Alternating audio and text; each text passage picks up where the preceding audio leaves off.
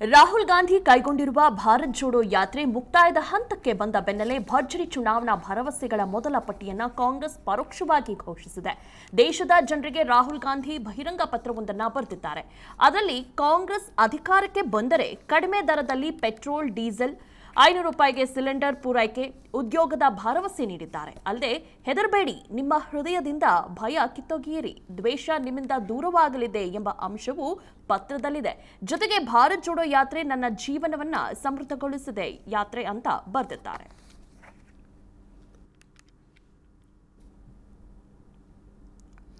ರಾಹುಲ್ ಗಾಂಧಿಯವರು ಇದು ಮೊದಲು, ಇದೇ ಮೊದಲಲ್ಲ. ಈ ಹಿಂದೆ ಅವರೊಂದು ಭಾರತ್ ದರ್ಶನ ಅಂತ ಒಂದು ಕಾರ್ಯಕ್ರಮವನ್ನು ಪ್ರಾರಂಭ ಮಾಡಿದ್ರು. ಆದರೆ ಆ ಕಾರ್ಯಕ್ರಮ ಮುಂದುವರಿಲಿಲ್ಲ.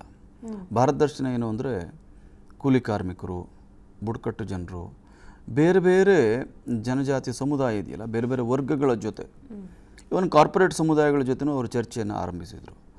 ಅಂದರೆ ಆ ಅನುಭವವನ್ನು ನೇರವಾದಂಥ ಅನುಭವವನ್ನು ಪಡೆದುಕೊಂಡು ತಾನು ರಾಜಕೀಯವಾಗಿ ಆಗಬೇಕು ಪರಿಪಕ್ವ ಆಗಬೇಕು ಅನ್ನೋದು ರಾಹುಲ್ ಗಾಂಧಿಯವರ ಆಸೆ ಇತ್ತು, ಆಲೋಚನೆ ಇತ್ತು. ಆದರೆ ಅದು ಕೈಗೂಡಲಿಲ್ಲ.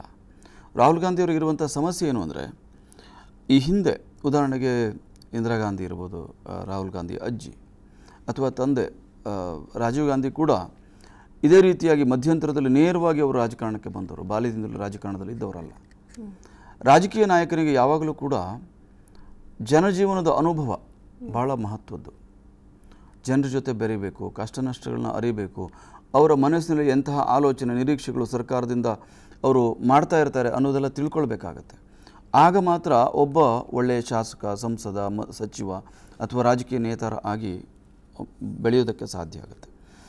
ರಾಹುಲ್ ಗಾಂಧಿಯವರಿಗೆ ಆ ಅನುಭವ ಸಿಕ್ಕಿರಲಿಲ್ಲ. ಅವರು ಓದಿದ್ದು ಭಾಳ ಕ್ಲೋಸ್ಡ್ ಆದಂತಹ, ಸೆಕ್ಯೂರ್ಡ್ ಆದಂತಹ ವಾತಾವರಣದಲ್ಲಿ ಅವರು ಓದಿದರು. ಯಾಕೆಂದರೆ ಅವ್ರ ಮೇಲೆ ಎರಡೆರಡು ಅಜ್ಜಿ ಮತ್ತು ತಂದೆ ಇವರಿಬ್ಬರ ಹತ್ಯೆಯ ಆಘಾತ ಅಕಾಲಿಕವಾಗಿ ಮರಣ ಅಪ್ಪಿದಂಥ ಆಘಾತ ಆ ವಾತಾವರಣ ಭಯ ಆತಂಕ ಮತ್ತು ಜನಜೀವನ ಜೊತೆ ಬೆರೆಯೋದಕ್ಕೆ ಅವಕಾಶನೇ ಆಗಿರಲಿಲ್ಲ ಅವ್ರ ಜೀವನದ ಬಾಲ್ಯದ ಜೀ ಸಂದರ್ಭದಲ್ಲಿ. ಈಗ ಸಾಮಾನ್ಯ ನೋಡಿ ಮಕ್ಕಳನ್ನು ಗಮನಿಸಿ ನೀವು. ನಾವು ಮಕ್ಕಳನ್ನು ಅವರು ಸ್ವತಂತ್ರವಾಗಿ ಬಿಡೋದಕ್ಕೆ ಇವತ್ತಿನ ಪಾಲಕರು ಹಿಂದೇಟು ಹಾಕ್ತಾರೆ ತಪ್ಪು ಅಂತ. ಅವ್ರನ್ನ ಪ್ರತಿಯೊಂದು ಹಂತದಲ್ಲಿ ನಾವು ಅವ್ರನ್ನ ಅಪ್ ಮಾಡಬೇಕು. ಇಲ್ಲಾಂದರೆ ಜೀವನಾನುಭವನೇ ಸಿಗಲ್ಲ ಇವತ್ತು ರಾಹುಲ್ ಗಾಂಧಿಗಾಗಿರೋ ಸಮಸ್ಯೆನೂ ಆದರೆ ಆದರೆ ಭಾರತ್ ಜೋಡೋ ಯಾತ್ರೆ ಮತ್ತೊಂದು ಪ್ರಯತ್ನವನ್ನು ಅವರು ಮಾಡ್ತಾರೆ. ಜನಜೀವನ ಜೊತೆ ಬೆರೀಬೇಕು, ಜನರ ಜೊತೆ ನಾನು ಒಡನಾಡಬೇಕು ಅಂತ. ಅದಕ್ಕಿಂತ ದೇಶದ ಉದ್ದಾಗಲಕ್ಕೂ ಈ ಫಿಸಿಕಲ್ ಆದಂಥ ಪರಿಸರವನ್ನು ಪ್ರತ್ಯಕ್ಷ ನೋಡೋದಿದೆಯಲ್ಲ? ಅದು ಕೂಡ ಬಹಳ ಇಂಪಾರ್ಟೆಂಟ್ ಒಬ್ಬ ರಾಜಕೀಯ ನಾಯಕನಿಗೆ ಅಂತ.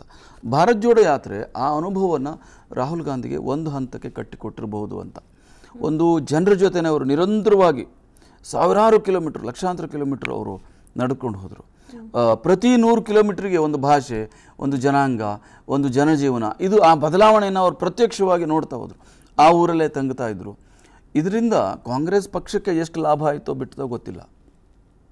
ರಾಹುಲ್ ಗಾಂಧಿಯವರಿಗೆ ಒಬ್ಬ ರಾಜಕೀಯ ನೇತಾರಾಗಿ ಬೆಳೆಯೋ ದೃಷ್ಟಿಯಿಂದ ಬಹುಶಃ ಭಾರತ್ ಜೋಡೋ ಯಾತ್ರೆ ಅವರಿಗೆ ಬಹಳ ಸಹಾಯಕ ಆಗುತ್ತೆ ಅಂತ. ಮತ್ತು ಅವ್ರನ್ನ ಯಾತ್ರೆ ಒಂದು ಹಂತಕ್ಕೆ ಅವರೊಬ್ಬ ರಾಷ್ಟ್ರಮಟ್ಟದ ನಾಯಕ ಅಂತ ಬೆಳೆಸೋದಕ್ಕೂ ಕಾರಣ ಆಗಿರ್ಬೋದು. ಅವರ, ಅವ್ರ ಕೆಲವೊಂದು ಈ ಪೆದ್ದತನದ ಹೇಳಿಕೆಗಳು, ಯಾರೋ ಹೇಳಿಕೊಟ್ಟಂಥ ಹೇಳಿಕೆಗಳು, ಅದನ್ನು ಮಾತಾಡೋದನ್ನು ಬಿಟ್ಟರೆ ವಿಶೇಷವಾಗಿ ಮಹಾಪುರುಷರ ಬಗ್ಗೆ, ಸಾವರ್ಕರ್ ಬಗ್ಗೆ ಭಾಳ ಕೆಟ್ಟದಾಗಿ ಮಾತಾಡಿದರು. ಇನ್ಯಾವುದೋ ಆರ್ ಎಸ್ ಎಸ್ ಬಗ್ಗೆ ಕೆಟ್ಟದಾಗಿ ಮಾತಾಡಿದ್ರು. ಆರ್ ಎಸ್ ಎಸ್ ಇಂದರೂ ನಾನು ಕೆಲವೊಂದನ್ನು ಕಲಿಯೋದಿದೆ. ನಾನು ಸಾವರ್ಕರಿಂದಲೂ ಕೆಲವೊಂದು ಕಲಿಯೋದಿದೆ.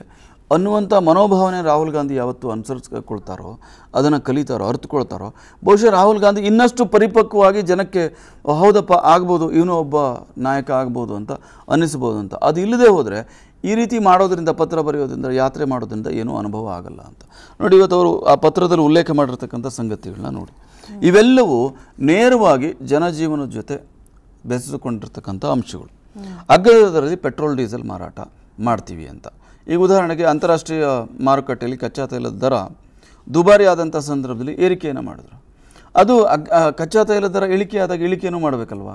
ಹೌದು. ಮಾಡಿಲ್ಲ. ಇದೊಂದು ಅಡ್ವಾಂಟೇಜು ಕಾಂಗ್ರೆಸ್ ಪಕ್ಷಕ್ಕೆ. ಅದ್ರ ಜೊತೆಗೆ L P G cylinder L P G cylinder ಇವತ್ತು ಸಾವಿರ ರೂಪಾಯಿ ಸಾವಿರದ ಇನ್ನೂರು ರೂಪಾಯಿ ಆಗುವಂಥದ್ದು.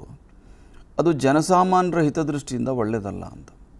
ಬೆಲೆ ನಿಯಂತ್ರಣ ಇದೆಯಲ್ಲ? ಜನಸಾಮಾನ್ಯರ ಜೀವನಕ್ಕೆ ಬೆಸೆದುಕೊಂಡಿರುವಂಥ ವಸ್ತುಗಳು ತರಕಾರಿ ಹಣ್ಣು ಮತ್ತು ಇತರ ಆಹಾರ, ಬೇಳೆಕಾಳುಗಳು, petrol, diesel, L P G ದರ, ಇವೆಲ್ಲವೂ ಜನಸಾಮಾನ್ಯರ ಜೊತೆ ಯಾ, ಶ್ರೀಮಂತರಿಗೆ ಇದು ಯಾವುದರ ಪರಿವೇ ಇರಲ್ಲ. ಒಬ್ಬ ಶ್ರೀಮಂತ ತನ್ನ ಮನೆಗೆ ಬರುವಂಥ ಸಿಲಿಂಡರ್ ಬೆಲೆ ಎಷ್ಟು ಅಂತ ಆತನಿಗೆ ಗೊತ್ತಿರಲ್ಲ. ಯಾರೋ ಹಣ ಕೊಡ್ತಾರೆ, ಆಳುಗಳು, ಕಾಳುಗಳು ಯಾರೋ ಕೊಡ್ತಾರೆ. ಸಾವಿರ, ಎರಡು ಸಾವಿರ ರೂಪಾಯಿ ಅವರಿಗೆ ಮ್ಯಾಟ್ರ್ ಅಲ್ಲ. ಆದರೆ ಮಧ್ಯಮ ವರ್ಗದವರಿಗೆ, ಬಡ ವರ್ಗದವರಿಗೆ ಅವರಿಗೆ ನೂರಿನ್ನೂರು ರೂಪಾಯಿ ಜಾಸ್ತಿ ಆದರೂ ಕೂಡ ಈ ತಿಂಗಳು ನನ್ನ ಖರ್ಚು ವೆಚ್ಚವನ್ನು ಸರಿದೂಗಿಸೋದು ಹೇಗೆ? ಇವತ್ತು ಟೂ ವೀಲರ್ಲಿ ಓಡಾಡುವಂಥವನು, ಒಂದು ದಿನಕ್ಕೆ ಒಂದು ಲೀಟ್ರ್ ಪೆಟ್ರೋಲನ್ನು ಖರ್ಚು ಮಾಡುವಂಥವನು, ಆತ ನೂರ ಹತ್ತು ರೂಪಾಯಿ ಕೊಡಬೇಕು ಅಂದರೆ, ಆತನ ದಿನದ ಆದಾಯವೇ ಮುನ್ನೂರು ರೂಪಾಯಿ ಇದ್ದರೆ ನೂರ ಹತ್ತು ರೂಪಾಯಿ ಪೆಟ್ರೋಲ್ಗೆ ಕೊಟ್ಟರೆ ಆತ ಏನು ಊಟ ಮಾಡ್ತಾನೆ, ಆತರ ಫ್ಯಾಮಿಲಿಗೆ ಏನು ಕೊಡ್ತಾನೆ ಮಕ್ಕಳ ಶಿಕ್ಷಣಕ್ಕೆ ಏನು ಕೊಡ್ತಾನೆ, ಇವೆಲ್ಲವೂ ಜನಸಾಮಾನ್ಯರ ಸಮಸ್ಯೆಗಳು. ಇದನ್ನು ಬಿ ಜೆ ಪಿ ಸರ್ಕಾರ ಅರಿತುಕೊಳ್ಳೋದ್ರಲ್ಲಿ ಎಲ್ಲೋ ಒಂದು ಕಡೆ. ಎಡವುತ್ತಾ ಇದೆ ಅಂತ. ಅದರ ಅರ್ಥ ಉಚಿತವಾಗಿ ಕೊಡಬೇಕು ಅಂತಲ್ಲ, ಪರಿಹಾರ ಕಂಡುಹಿಡಿಬೇಕು ಅಂತ. ಒಂದಿಷ್ಟು ಸರ್ಕಾರ ಸಬ್ಸಿಡಿ ಕೊಡ್ಬೋದು, ನೆರವಿಗೆ ಬರ್ಬೋದು, ಇನ್ನೊಂದಿಷ್ಟು ದರ ಇಳಿಕೆ ಮಾಡ್ಬೋದು. ಯಾವುದೋ ಒಂದು ರೀತಿಯಲ್ಲಿ ಜನರ ಮೇಲಿನ ಹೊರೆಯನ್ನು ನೀವು ತಗ್ಗಿಸದ ಹೋದರೆ ಜನ ಯಾವತ್ತು ಯಾವ ಹೇಗೆ ಯೋಚನೆ ಮಾಡ್ತಾರೆ? ನಾವು ಹೇಳ್ತೀವಿ, ದೇಶ ಮೊದಲು, ನಂತರ ನಾನು ಅಂತ. ಅದರ ಜೊತೆಗೆ ನಾನು ಉಳಿದ್ರೆ ನನಗೆ ಇವತ್ತು ಹೊಟ್ಟೆಗೆ ಅನ್ನ ತಿನ್ನೋಕ್ಕೆ ಗತಿ ಇಲ್ಲ ಅಂದರೆ ಆಗ ಆತ ದೇಶದ ಬಗ್ಗೆ ಸಹಜವಾಗಿ ಆಲೋಚನೆ ಮಾಡೋಕ್ಕೆ ಆಗಲ್ಲ ಅವನಿಗೆ. ನಾನು ಬದುಕೋದೇ ಹೆಚ್ಚು, ನನ್ನ ಫ್ಯಾಮಿಲಿಯನ್ನು ರಕ್ಷಣೆ ಮಾಡೋದೇ ಹೆಚ್ಚಾಗುತ್ತೆ ಆತನಿಗೆ ಅಂತ. ದೇಶದಲ್ಲಿ ಸೌಹಾರ್ದತೆ ಸೃಷ್ಟಿಸುವ ಬಗ್ಗೆ ಭರವಸೆ ಅಂತ. ಸೌಹಾರ್ದತೆ ಸೃಷ್ಟಿಸೋದು ಅಂದರೆ ಕೇವಲ ಯಾರನ್ನ ಓಲೈಕೆ ಮಾಡೋದಲ್ಲ ತಪ್ಪನ್ನು ತಪ್ಪು ಅಂತ ಹೇಳಬೇಕು ರಾಹುಲ್ ಗಾಂಧಿಯವರು. ಭಯೋತ್ಪಾದಕರನ್ನ ಗುರುತಿಸೋ ಸಂದರ್ಭದಲ್ಲಿ ಒಂದು ಕಮ್ಯುನಿಟಿಯ ಹಿನ್ನೆಲೆಯಲ್ಲಿ ಅದನ್ನು ನೋಡಿ ಅವ್ರನ್ನ ರಕ್ಷಣೆಗೆ ಯಾಕೆ ಹೋಗ್ತೀರ ನೀವು? ಅಥವಾ ದೇಶದ ರಕ್ಷಣೆ, ಭದ್ರತೆ ಸಂದರ್ಭದ ಬಂದಾಗ ಅಥವಾ ಗಡಿಯ ಪ್ರಶ್ನೆ ಬಂದಾಗ, ಇಲ್ಲೇನು ಸಾರ್ವಭೌಮತೆ ಪ್ರಶ್ನೆ ಬಂದಾಗ, ನೀವು ಯಾರನ್ನ ಓಲೈಸೋಕ್ಕೋಸ್ಕರ ಯಾಕೆ ಸರ್ಕಾರದ ವಿರುದ್ಧ ಮಾತಾಡ್ತೀರ? ಈ ಸಂಗತಿಗಳನ್ನು ರಾಹುಲ್ ಗಾಂಧಿ ತಿದ್ದುಕೊಳ್ಬೇಕಾಗಿದೆ. ಉದ್ದಿಮೆಗೆ ಪ್ರೋತ್ಸಾಹ ಇವತ್ತು ಆರ್ಥಿಕತೆ ಸಂಕಷ್ಟದಲ್ಲಿದೆ. ಯಾರು ಏನಾದರೂ ಹೇಳಿ ಆರ್ಥಿಕತೆಯ ಬೆಳವಣಿಗೆ ಕುಂಟ್ತಾ ಇದೆ. ಉದ್ಯಮದ ಅವಕಾಶಗಳು ಕಡಿಮೆ ಆಗ್ತಾ ಇದೆ. ಉದ್ಯಮ ಮಾಡುವಂಥವರೆಲ್ಲ ಇವತ್ತು ಅವರನ್ನು ನೀವು ಅನುಮಾನದಿಂದ ನೋಡುವಂಥ ಸೃಷ್ಟಿ ನಿರ್ಮಾಣ ಆಗ್ತಾ ಇದೆ. ತೆರಿಗೆ ಹೊರೆ ಎಲ್ರಿಗೂ ಅನ್ನಿಸ್ತಾ ಇದೆ. ಅದರ ಜೊತೆಗೆ ಉದ್ಯೋಗಾವಕಾಶ. ನೋಡಿ, ಮೊದಲೇ ದುಬಾರಿ ಆಗ್ತಾ ಇದೆ. ನಿಮಗೆ ಉದ್ಯೋಗವೂ ಸಿಗಲ್ಲ ಅಂತಂದರೆ ಇದು ಬಹಳ ಕಷ್ಟದ ಸಂಗತಿ. ಹಾಗಾಗಿ ಈ ಪತ್ರ ಬಹಳ ಮಹತ್ವದ್ದು. ರಾಹುಲ್ ಗಾಂಧಿಯವರು ಸ್ವಲ್ಪ ಅವರ ಆಲೋಚನೆ, ಅವರ ಮಾತು, ಅವರ ವ್ಯವಹಾರವನ್ನು ಮೌಲ್ಡ್ ಮಾಡಿಕೊಂಡ್ರೆ ಬಹುಶಃ ಭಾರತ್ ಜೋಡೋ ಯಾತ್ರೆ ಅವ್ರನ್ನ ಮತ್ತೆ ಪುನಃ ಲಾಂಚ್ ಮಾಡೋದಕ್ಕೆ ಒಂದು ಲಾಂಚಿಂಗ್ ಪ್ಯಾಡ್ ಆಗೋದ್ರಲ್ಲಿ ನಿಮಗೆ ಯಾವ ಅನುಮಾನವೂ ಬೇಡ ಅಂತ. ವಿಸ್ತಾರ ನ್ಯೂಸ್. ನಿಖರ, ಜನಪರ.